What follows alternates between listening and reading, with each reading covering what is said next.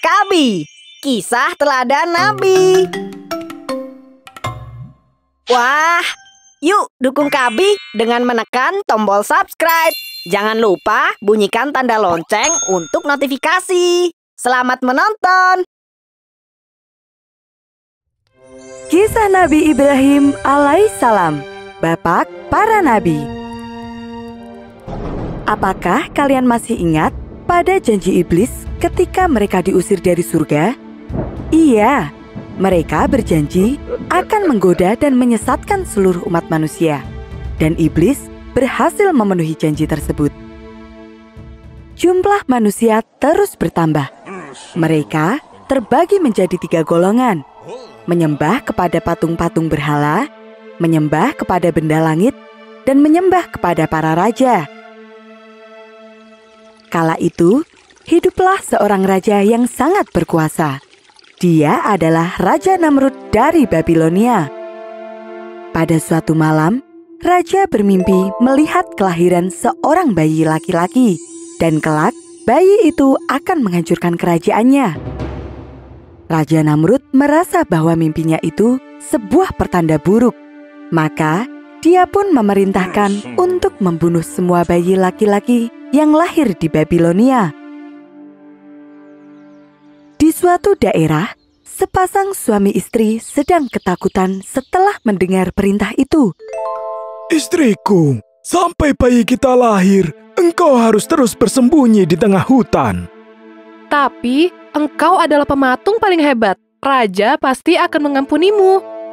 Tidak, jika anak kita laki-laki, raja pasti akan membunuhnya. Setelah itu, sang istri terus bersembunyi di dalam sebuah gua.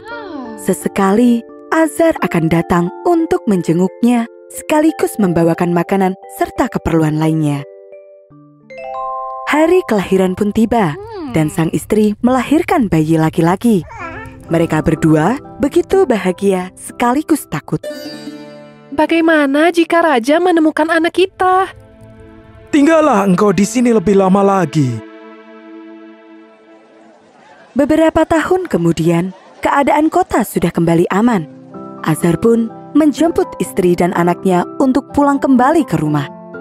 Azar begitu bahagia bisa berkumpul bersama keluarganya. Apalagi bayi laki-lakinya telah tumbuh menjadi anak yang cerdas. Dialah Nabi Ibrahim. Setelah kembali berkumpul, Nabi Ibrahim mengetahui bahwa ayahnya adalah seorang pembuat patung yang sangat terkenal. Suatu hari, Nabi Ibrahim bertanya, Patung apakah ini ayah? Kedua telinganya besar, lebih besar dari telinga kita.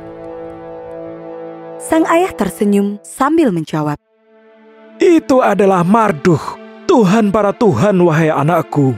Dan kedua telinga yang besar itu sebagai simbol dari kecerdasan yang luar biasa. Nabi Ibrahim merasa bingung. Bagaimana bisa ayahnya menciptakan Tuhan dan mengapa ada begitu banyak Tuhan? Nabi Ibrahim bertanya lagi, Lalu dari apa Tuhan-Tuhan itu diciptakan ya? Ini dari kayu pelepah kurma, itu dari zaitun, dan berhala kecil itu dari gading. Lihatlah alangkah indahnya. Hanya saja ia tidak memiliki nafas. Mendengar jawaban ayahnya ini, Nabi Ibrahim pun berkata, Jika para Tuhan tidak memiliki nafas, maka bagaimana mereka dapat memberikan nafas? Bila mereka tidak memiliki kehidupan, bagaimana mereka memberi kehidupan? Wahai ayahku, pasti mereka bukan Tuhan. Azar marah besar ketika mendengar jawaban anaknya itu. Nabi Ibrahim pun dipukul dan dihukum. Sejak saat itu, Nabi Ibrahim membenci semua patung-patung berhala tersebut. Suatu ketika, Nabi Ibrahim diajak oleh sang ayah ke perayaan besar. Semua orang berkumpul menjadi satu di ruang pembujaan. Seorang dukun maju dan memulai ritual suci. Wahai Tuhan kami, lindungilah dan limpahkanlah rizkimu. Teriak sang dukun yang disambut meriah oleh semua orang. Melihat semua orang begitu terlena, Nabi Ibrahim tidak menahan diri lagi. Nabi Ibrahim berteriak, Hei dukun, ia tidak akan pernah mendengarmu. Apakah engkau yakin bahwa ia mendengar? Seluruh orang yang ada di ruang pemujaan itu marah kepada Nabi Ibrahim. Azar segera membawa anaknya itu pulang sebelum keadaan bertambah kacau. Sang ayah meminta agar Nabi Ibrahim merenung dan mengakui kesalahannya. Namun, rasa penasaran Nabi Ibrahim akan Tuhan tidak pernah padam. Maka, dia pun memutuskan untuk mencari Tuhannya sendiri. Nabi Ibrahim keluar dari rumahnya menuju ke gunung. Dia berjalan sendirian di tengah gelapnya malam. Dalam setiap langkahnya, dia terus bertanya, "Siapakah Tuhan itu?" Sampai di gunung, Nabi Ibrahim melihat ke langit yang luas. Langit malam penuh dengan bintang yang berkelip dan bulan yang bersinar sangat terang. Nabi Ibrahim pun memutuskan Inilah Tuhanku. karena bintang-bintang dan semua benda langit itu jauh lebih mengagumkan daripada patung-patung buatan manusia. Tidak ada manusia yang bisa menciptakan bintang. Namun, ketika pagi tiba, semua bintang di langit itu tidak bisa lagi terlihat. Barulah Nabi Ibrahim tersadar bahwa matahari, bulan, dan semua bintang di langit bisa terbit dan tenggelam. Semuanya muncul silih berganti. Nabi Ibrahim pun bertanya-tanya, siapakah yang membuat semua itu? Lalu Nabi Ibrahim memutuskan, Saya tidak suka kepada yang tenggelam. saat itulah Allah Subhanahu wa taala memberikan petunjuk kepada Nabi Ibrahim bahwa hanya ada satu Tuhan yang harus disembah, yaitu Allah Subhanahu wa taala.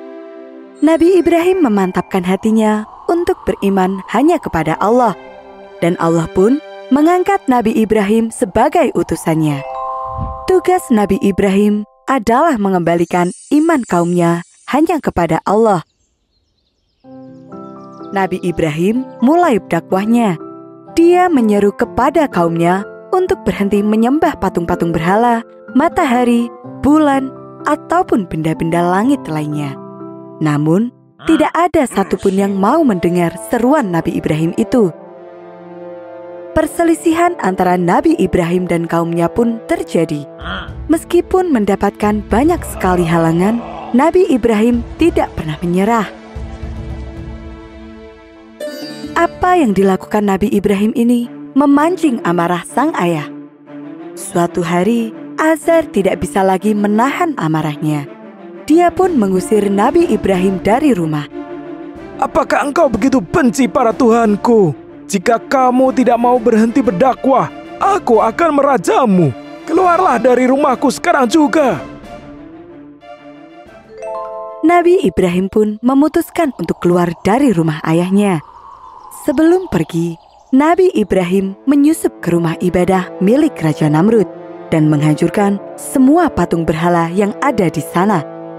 Nabi Ibrahim menyisakan satu patung paling besar dan meletakkan sebuah kapak di lehernya. Keesokan harinya, semua orang di Babilonia gempar melihat semua patung Tuhan mereka hancur. Raja Namrud marah besar dan memerintahkan untuk segera menangkap pelakunya. Temukan orang yang melakukan ini semua. Teriak raja kepada para prajurit. Kemudian raja memberikan perintah lagi. Siapkan kayu bakar dan tiang hukuman. Aku akan membakar pelaku kejahatan ini. Beberapa waktu kemudian, Nabi Ibrahim tertangkap dan dibawa ke halaman istana. Raja Namrud bertanya, Hai Ibrahim, bukankah engkau yang telah menghancurkan patung-patung ini? Nabi Ibrahim menjawab bukan. Raja Namrud tidak percaya pada jawaban tersebut dan terus mendesak agar Nabi Ibrahim mengaku. Saat itu, Nabi Ibrahim menjawab, Aku rasa patung paling besar itulah yang melakukannya. Tanyakan saja padanya. tentu saja patung itu tidak akan bisa menjawab meskipun ditanya berulang kali. Hal ini membuktikan bahwa patung itu bukanlah Tuhan.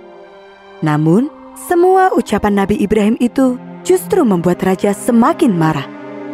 Ikat tangan dan kakinya, kemudian ikat dia ke tengah tiang hukuman. Nabi Ibrahim pun diikat di atas kayu-kayu bakar yang telah disiapkan sebelumnya. Bakar kayu itu. Api mulai menyala melahap kayu-kayu itu. Semua orang bersorak gembira. Sebentar lagi, dia pasti akan berteriak memohon ampun. Teriak mereka. Namun, apa yang mereka harapkan tidak pernah terjadi. Nabi Ibrahim sama sekali tidak takut ataupun berteriak. Dia terus berdoa kepada Allah Subhanahu wa taala, memohon perlindungannya. Allahu Akbar, Allah sungguh Maha Besar. Api yang panas berubah menjadi dingin. Api yang terus membesar dan asapnya yang hitam mengepul memenuhi udara. Jelaganya membuat wajah orang-orang yang menonton menjadi hitam. Berjam-jam kemudian, api itu pun padam. Asap hitam yang menyelimuti pun perlahan menghilang. Saat itulah Nabi Ibrahim melangkah keluar dari sisa-sisa kayu bakar tanpa terluka sedikit pun. Bahkan kulitnya tetap bersih bercahaya meskipun dikepung asap hitam. Peristiwa itu membuktikan bahwa Nabi Ibrahim memang istimewa dan semua yang diucapkannya adalah benar. Namun, bukti nyata itu ternyata tidak bisa membuat orang-orang sadar. Mereka terus memusuhi Nabi Ibrahim dan berusaha untuk mengusirnya. Mereka tidak ingin hidup berdampingan dengan orang yang menghancurkan dan menghina Tuhan mereka. Nabi Ibrahim pun sadar bahwa kaumnya tidak akan bisa berubah. Atas seizin Allah, Nabi Ibrahim pun pergi dari kotanya. Dalam perjalanannya, Nabi Ibrahim ditemani oleh dua umat yang percaya kepadanya. Mereka adalah Sarah, wanita yang kelak akan menjadi istrinya, dan Lut, seorang pemuda yang kelak akan menjadi nabi Allah.